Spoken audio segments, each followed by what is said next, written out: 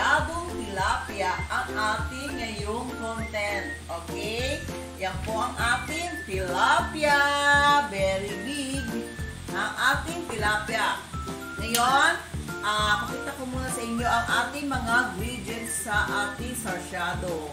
Ayan po, syempre hindi mawawala ang kamatis, garlic, onion, at 2 eggs, fish oil, black pepper, at oyster sauce. Lalagyan din natin syempre ng asin, ang ating tilapia.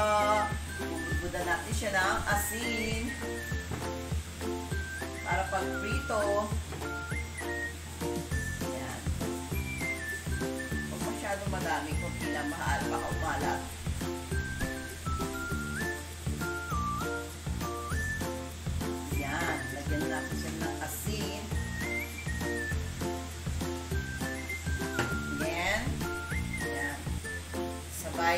Natin siya at ipiprito. At magigisa tayo syempre ng kamatis, bawang, sibuyas. At magbabati tayo ng 2 eggs. Kasi sarsyado yan, kailangan natin ng 2 eggs. Yan po.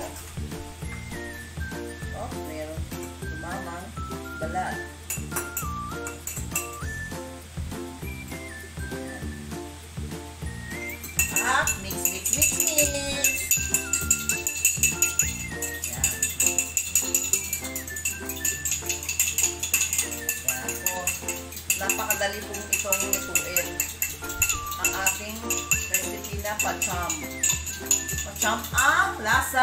Pacham ang luto.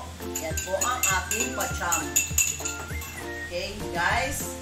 At tayo magsisimula ng mag-frito.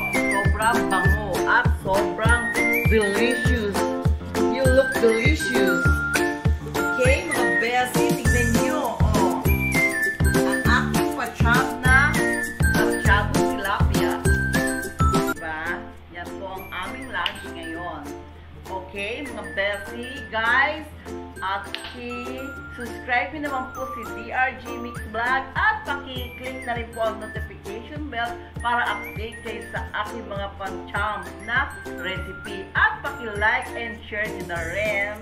Okay? God bless. Love you all.